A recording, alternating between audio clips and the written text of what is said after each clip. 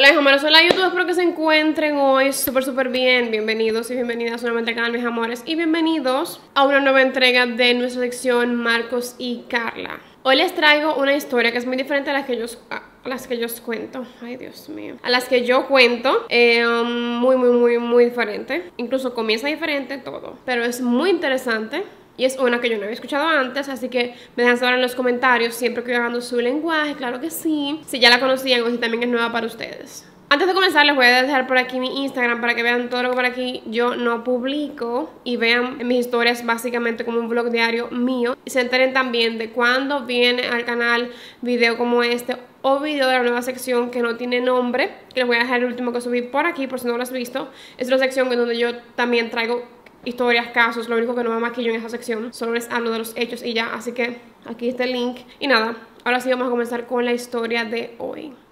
Hoy nos vamos a ir a Somerville, que queda en Nueva Jersey, específicamente el 28 de junio del año 2003. Ese día, en el centro médico de Somerset, un hombre llamado Florian Gall, que era un pastor de una iglesia católica en Somerville, él se encontraba en este centro médico, internado y conectado a un respirador para tratar la neumonía que estaba padeciendo. Él no tenía para ese momento ningún tipo de complicación, de salud, nada. O sea, él tenía neumonía en ese momento, estaba con todo respirador, pero no sufría de ninguna otra complicación de salud, ni, no tenía ninguna otra condición. Así que el cuadro para él era muy favorecedor, a pesar de que estaba conectado a un respirador, era para él eh, positivo, ya que los médicos estimaban que se iba a poder recuperar bien. A él lo conectaron a un respirador, básicamente por la neumonía, pero también por su edad ya que para el momento tenía 68 años. Entonces, cuando de la nada él sufre un paro cardíaco y muere, es algo muy extraño porque el cuadro de él no era para que le dieran paro cardíaco, sobre todo cuando era una persona que no tenía ninguna condición cardíaca previa. Como les dije, Florian Gall tenía 68 años para el momento. Él fue pastor de la iglesia, la voy a leer porque el nombre es larguísimo, Iglesia Católica Romana Nuestra Señora de Lourdes en White House Station. El pastor, como no presentaba ninguna condición previa, era un hombre bastante saludable y como murió por un paro cardíaco, esto fue como despertaron sospechas en el personal del hospital e incluso estas sospechas llegaron al personal administrativo del hospital, por lo cual se ordenó que se realizara una autopsia para ver realmente qué había causado este paro cardíaco. Entonces la autopsia arrojó que el cuerpo de Florian tenía altos niveles de un medicamento llamado digoxina. Este medicamento se utiliza en pacientes que presentan fallos del corazón. Entonces,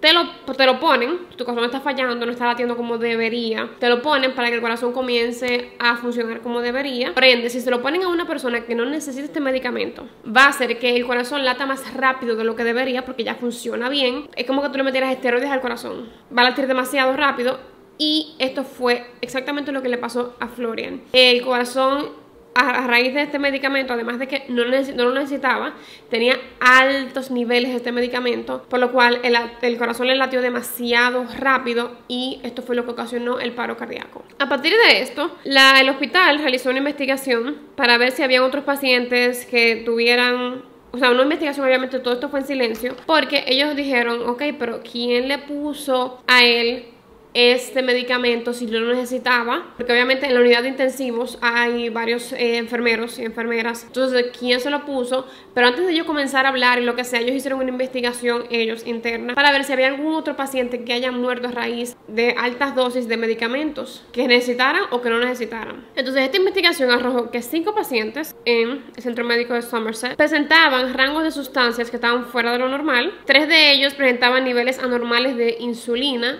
y dos de ellos de digoxina. Pero todo esto en cantidades extremas, ¿ok?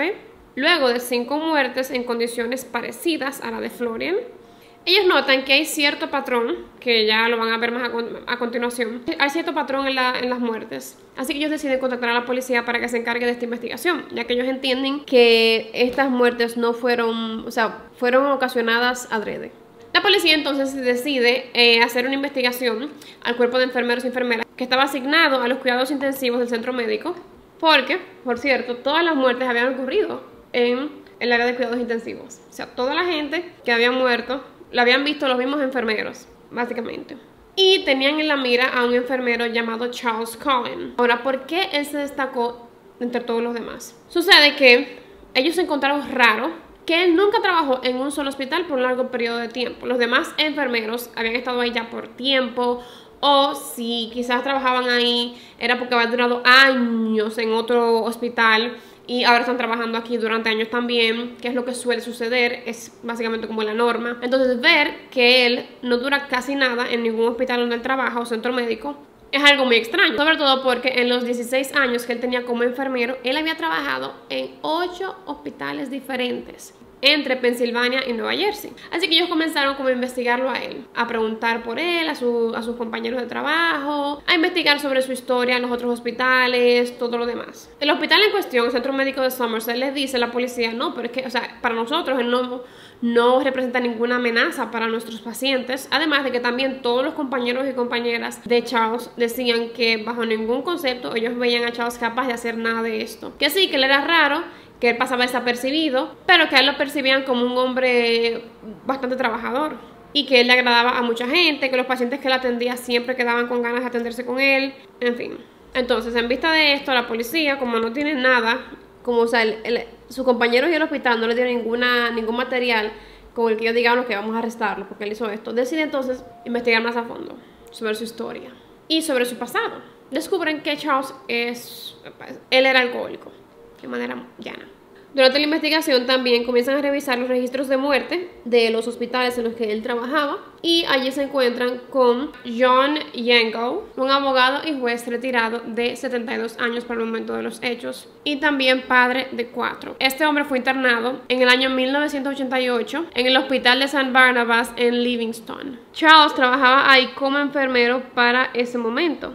Él fue ingresado al hospital porque él se había bebido un medicamento que le dio una alergia. Entonces, a raíz de la alergia, lo llevaron al hospital. El cuadro de él era favorable porque era simplemente una alergia a un medicamento, nada grave para él en ese momento. Y eh, los médicos estimaban que se iba a mejorar rápidamente y podía irse a su casa rápidamente. Pero sucede que a pesar de todo el cuadro favorable que tenía este hombre, él muere. El enfermero a cargo de él para ese momento era nada más y nada menos que Charles Cullen. Y esta fue la primera muerte de la que encontraron registro que tenía que ver con Charles Cullen. John murió el 11 de junio del 88 y para ese momento el hospital asumió que John había muerto a raíz de la alergia, de la, alergia que le dio el medicamento.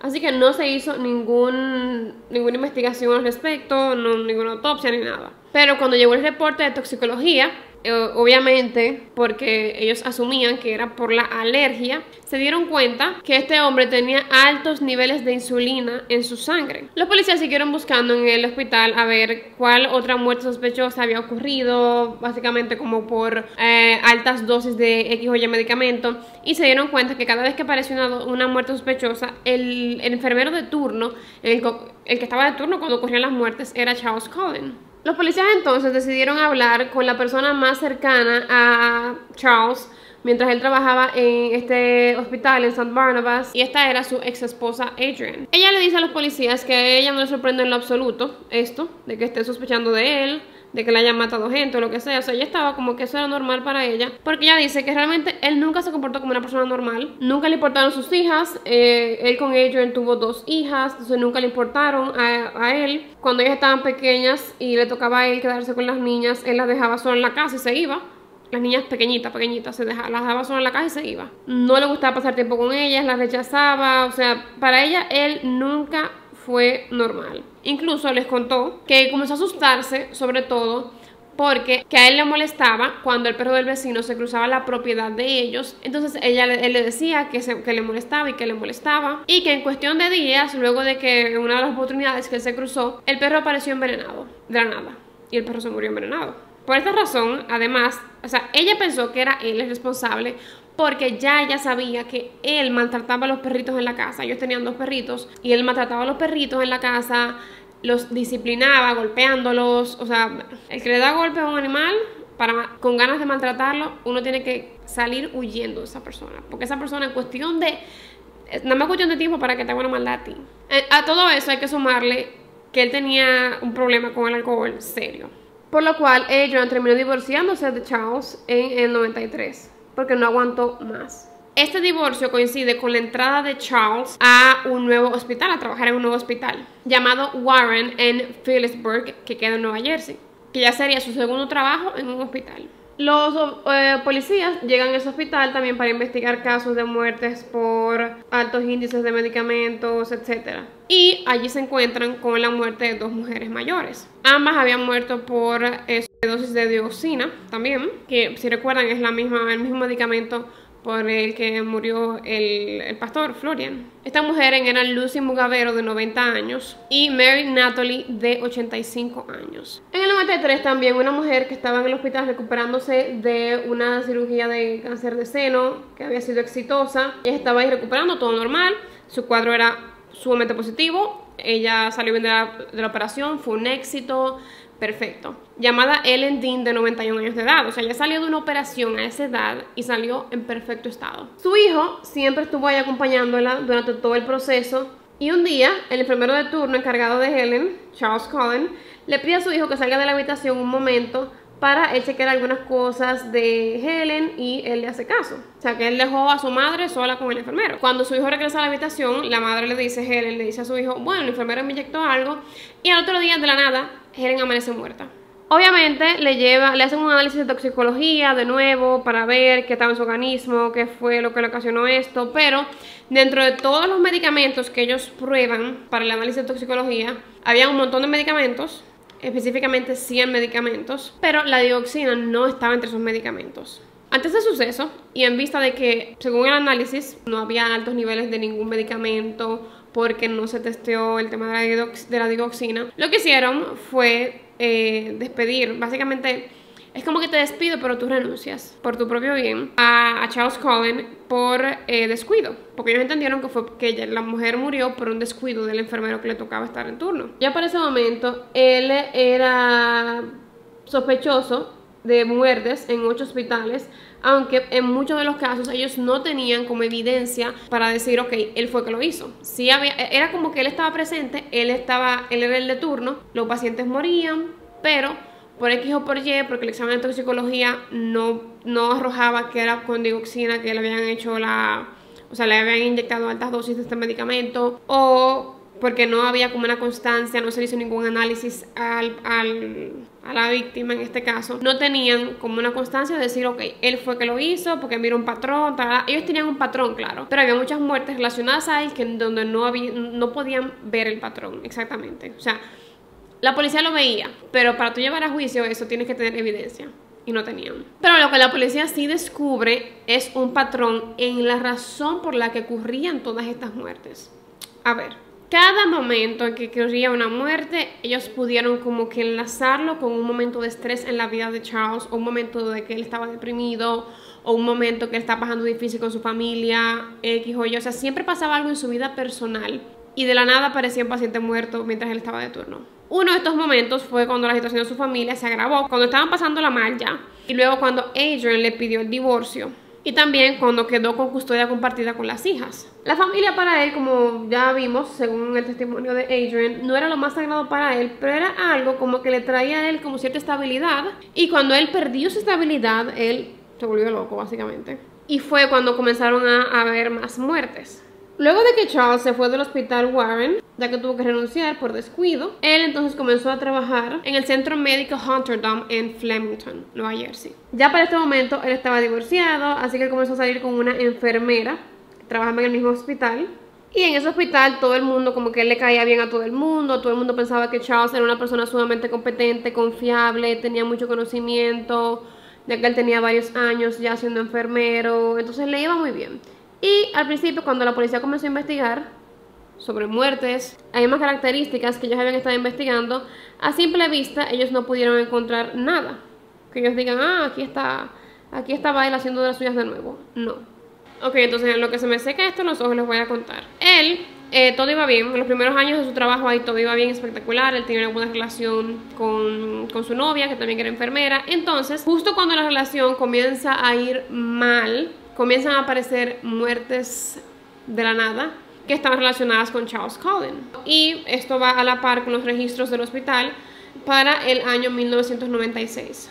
Solo en ese año, solo en ese año, ya habían cinco muertes inexplicables, todas relacionadas con Charles Cullen. O sea, él estaba de turno cuando ocurrieron. Y todas tenían que ver con una de digoxina. Les voy a leer la lista ahora de las víctimas de, en, en este hospital para ese año. Leroy Sin, de 71 años, que murió en enero del 96. Earl Young, de 76 años, que murió en mayo del 96 también, todos en el 96. Catherine Dext, de 49 años, que murió en junio. Mark Masako, de 66 años, que murió también en junio. Y Jesse Aiklin, de 81 años, quien murió en julio. Luego de estas muertes, él decidió renunciar en su hospital, pura coincidencia, y entonces se fue a trabajar a su nuevo trabajo como enfermero. En esta ocasión, él se fue a trabajar al hospital de Easton en Easton, Pensilvania. En el 98, Charles comenzó a tener problemas económicos y se declaró en bancarrota. Y justo para ese momento muere en el hospital de Easton, bajo el turno de Charles Cullen, un hombre llamado Ottomar Scram de 78 años. Este hombre fue ingresado al hospital el día antes de su muerte porque estaba teniendo convulsiones. Yo no me puse a bronzer. I just realized. Él estaba teniendo convulsiones, lo llevaron al hospital, lo ingresaron. Y entonces con esto la policía comienza a ver que era como si Charles tuviera la necesidad de él tomar control de algo, de algo en su vida, ya que le estaba yendo mal en todos los aspectos de su vida y recientemente se había declarado bancarrota, el, los policías comienzan a creer, como a tener un perfil más claro de él y decir, ok, él quería tener control de algo en su vida, ya que en su vida personal no estaba teniendo control, él entendía como que todo el mundo estaba quedando mal, todo el mundo, o sea, nadie quería saber de él, entonces él tomaba el control de las cosas, tomando el control de la vida de otra persona, básicamente. La hija de Otomar, que habló con la policía, describe que el enfermero de su padre, Charles Cullen, era muy raro.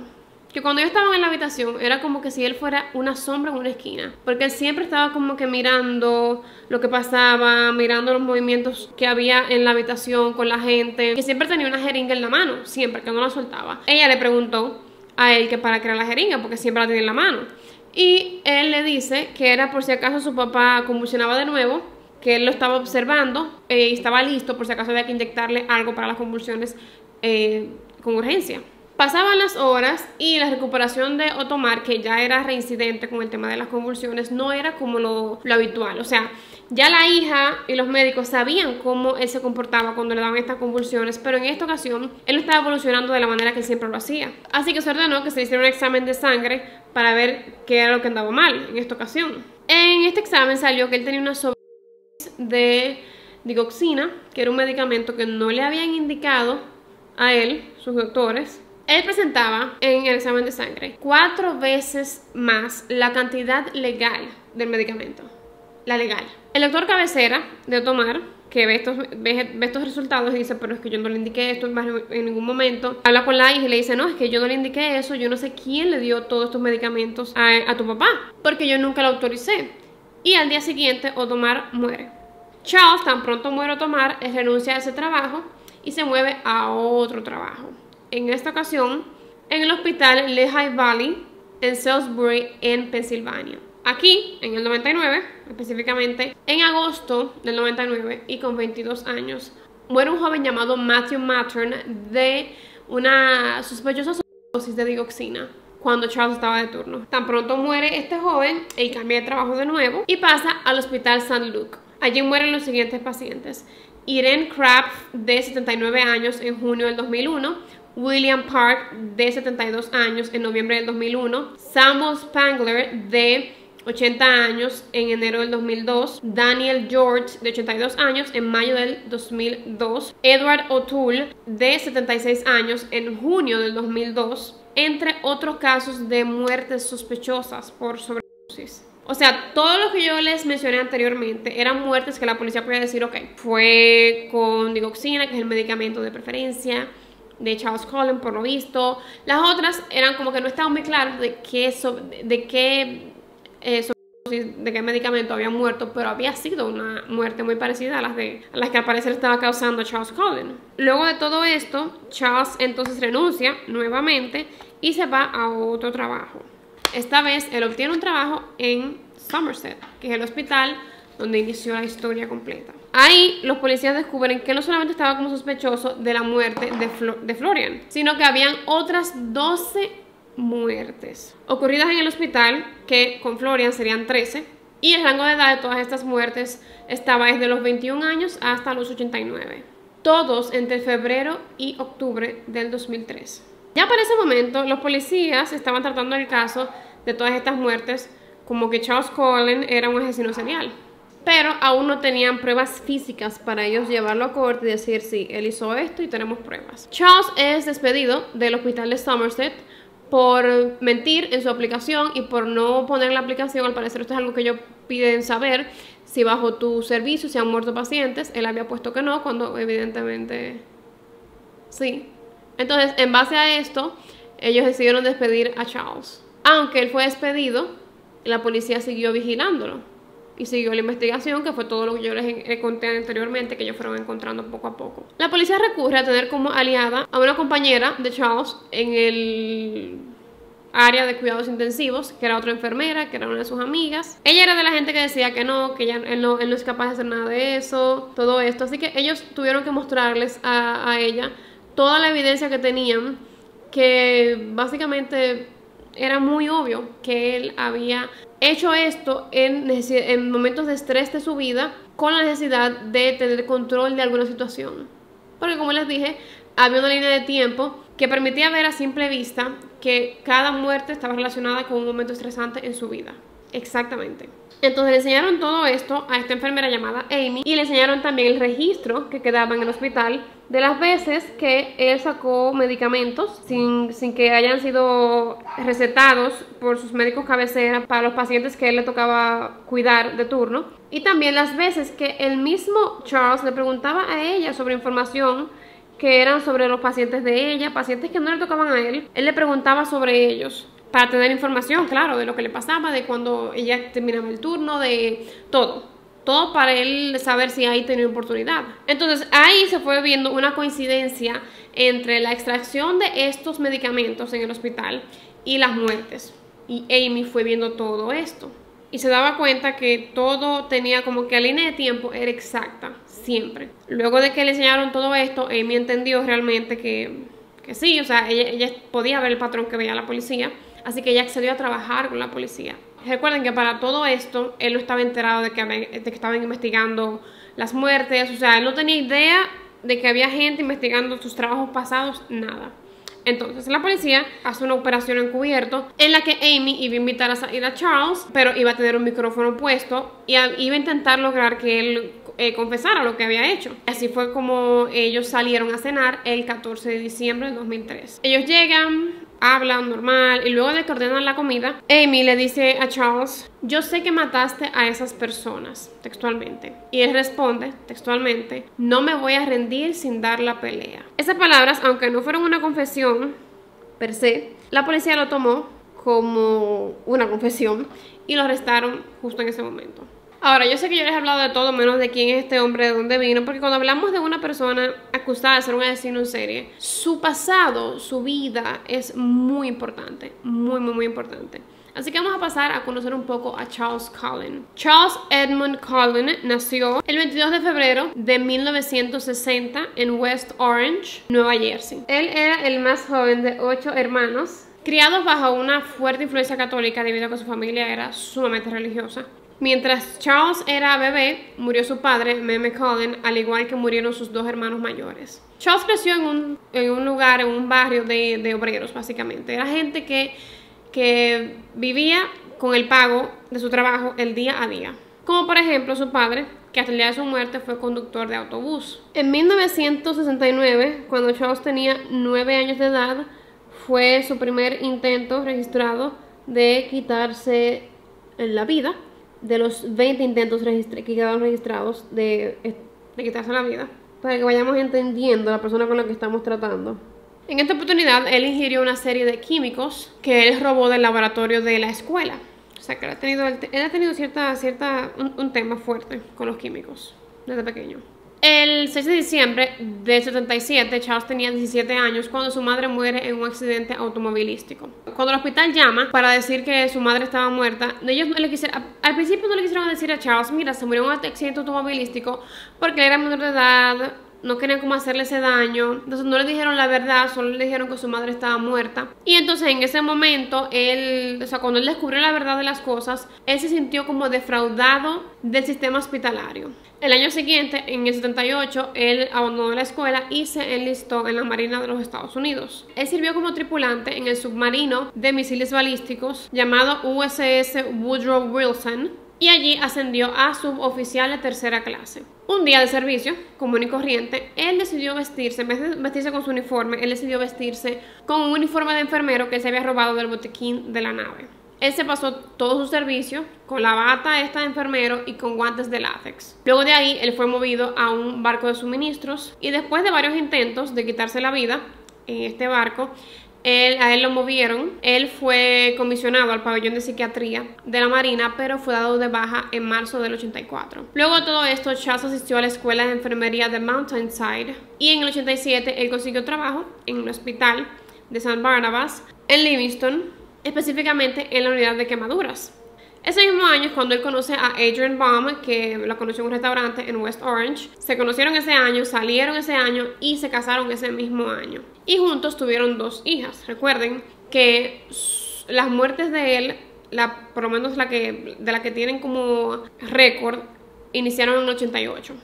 Él le iba tan bien en sus estudios y todo que él fue elegido presidente de su clase de enfermería. Adrian Baum dice que ella se sentía insegura con Charles, como que ella sentía que en cualquier momento él le iba a hacer algo por sus comportamientos tan extraños y también por la manera en que él trataba los perros de la casa. Como les dije, ellos tenían dos perritos Yorkshire Terriers y que había veces que ella se despertaba porque los perritos estaban gritando. Yo creo que aquí todo el mundo sabe cómo suena un perrito cuando está gritando porque está sufriendo o porque le están haciendo daño. Y cuando ella iba a chequear qué estaba pasando, él le decía que él estaba intentando entrenar a los perros y que si los perros no hacían lo que él decía en un proceso de entrenamiento, entonces él los disciplinaba, dígase que los golpeaba. En enero del 92 él renuncia al hospital en el que estaba trabajando, en el San Barnabas, y en febrero entonces pasa al hospital Warren. Ella le solicitó el divorcio en enero del 93 y luego de esto ella hizo dos denuncias de violencia doméstica y alcoholismo en contra de Charles.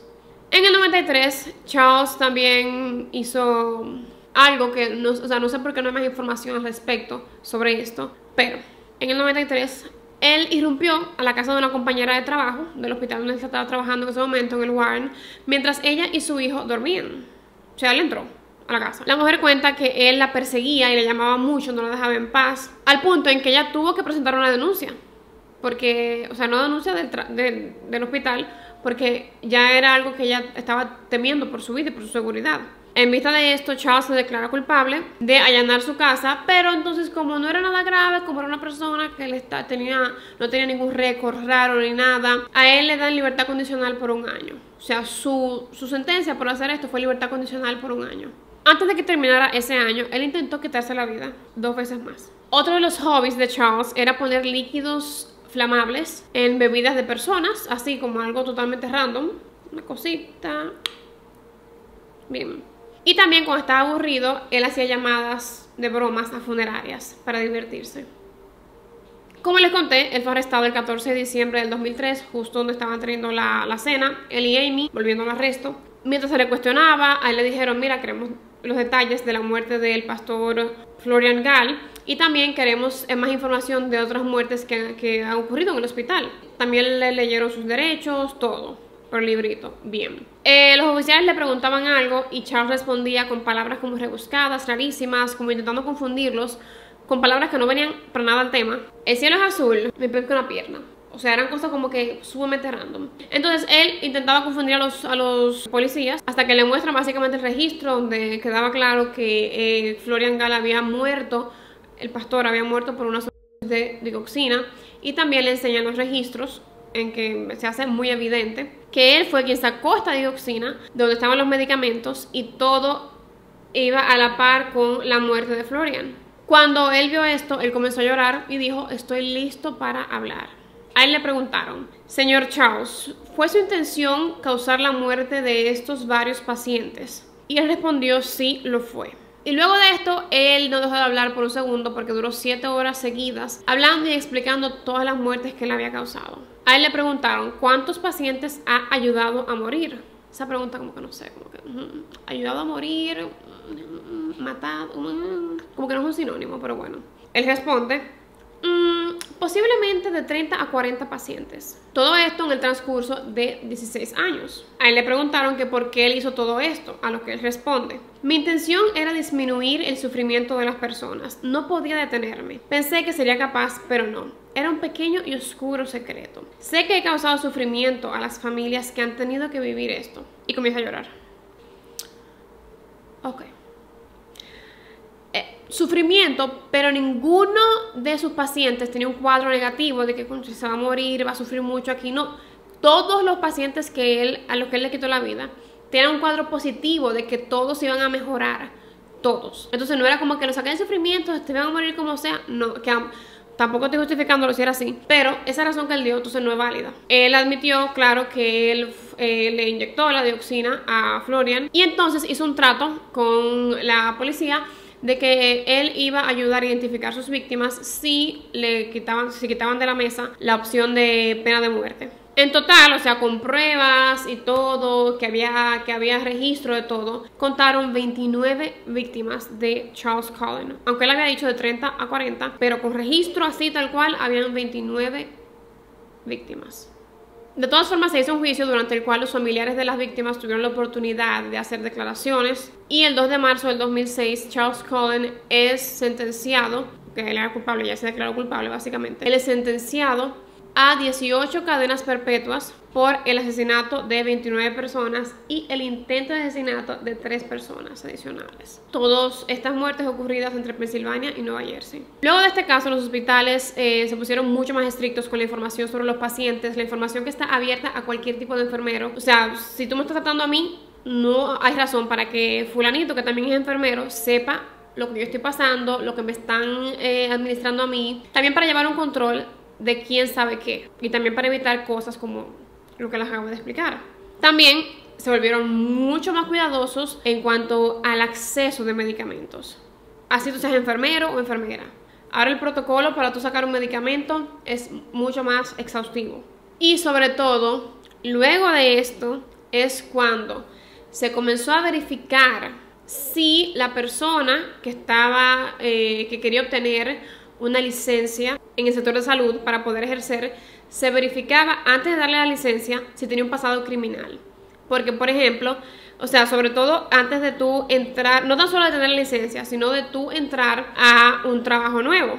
Porque, por ejemplo, él tenía un pasado criminal, obviamente, aunque fue un año de libertad condicional, pero había un pasado criminal. O sea que muchas muertes pudieron haberse evitado, por lo menos en los hospitales, de haber chequeado eso. No solamente dejárselo al juicio de que, bueno, ¿Tú tuviste pasado criminal? No, ok, te creo y te contrato. Ya todo eso se revisa. Hasta que ha llegado la historia de hoy. Déjenme saber si ustedes la conocían o no la conocían, si, es nueva para ustedes, porque para mí sí lo fue. Así que yo espero leer sus comentarios como siempre. Por aquí les dejo mi Instagram para que vean todo lo que por aquí yo no publico. Si no te has suscrito al canal, suscríbete porque diciembre viene muy fuerte viene muy fuerte, solamente les voy a decir eso, ¿ok? Así que yo les quiero mucho mis amores y nos vemos en un próximo videito.